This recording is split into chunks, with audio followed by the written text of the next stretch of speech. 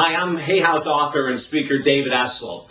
Have you thought about the fact of balance in your life? And have you tried for years to become more balanced in maybe everything you do? Well, I'm going to tell you something that might be a little shocking. We're wasting our time. Anyone who's trying to live a balanced life is absolutely wasting your time. And this isn't maybe what you're sitting here listening and hoping to hear.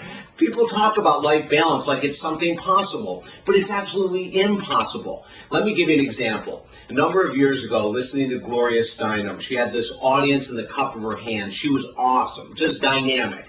And at the end of her presentation, she was taking questions. And this one woman raised her hand and said, Gloria, is it possible to have it all? I mean, can you have the great relationship, wonderful children, doing the job, making a difference in this world, having enough money to be comfortable? Is it possible to do it all, to have it all? And there was this amazing quiet in the room. And Gloria Steinem stood back for a second from the podium, looked around the room, then walked back up, and the answer was yes. And half of the audience was so excited. You know, the go-getters, the type A, those people that will do anything to accomplish any goal in life. They were so jazzed. And the other half of the room were so deflated because they were so far away from being life balanced and having it all that they even became more depressed. And then she continued, but it will never be at the same time. and I love that story. You know, in the seminars that I give around the world and books that I write and everything else, I try to help people work through that illusion of life balance. I try to help people get really centered on the fact that if they're racing after life balance, they're wasting their life. They're wasting their time. Let me give you another example of why life balance doesn't work. When you think about New Year's resolutions on New Year's Eve, people always say, I'm going to quit drinking, quit smoking, lose weight, get into shape, make more money, fall in love again with my partner, find a partner, get rid of the partner that I have. You know, it's like we have all these wild things we're going to do. And then what happens? On the first, you've got the greatest intentions, but because you've got so many things you're going after, that you'll go after that weight loss for about 30 days, maybe 45 if you're lucky. And they'll come off first really quickly, and then you don't see any progress, and you go, you know what?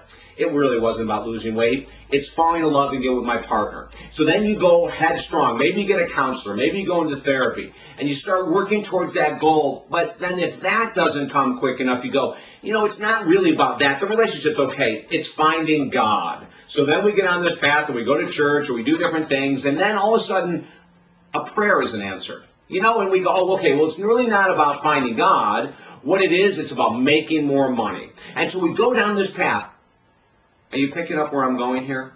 When we have more than one goal, when we're trying to juggle everything and live a balanced life, we end up doing nothing. Why do we think that year after year, people have the same New Year's resolutions. I mean, if you're like me, possibly, and a lot of other people, clients that I work with, is that they're coming back in in 2009, in 2010, and 2011 with many of the same goals they had 10 years ago. Okay, Life balance. If this doesn't prove it, nothing else will. Life balance doesn't work. We're not perfect beings. We're people that are maybe trying to become more perfect, but it's not a perfect being. It's not a perfect world. So what I'm going to do right now is I want you to sit and think about one area in life that needs your attention. In our next segment, I'm going to show you how to blast through life balance, go after the one thing that really makes a big difference in your life that you know if you were to accomplish it, everything else would change. That's what we're going to do. It's called the one thing theory. I created this in 1996, and we're going to find out more about it, what to do, so that you can finally move into the life that you've always wanted.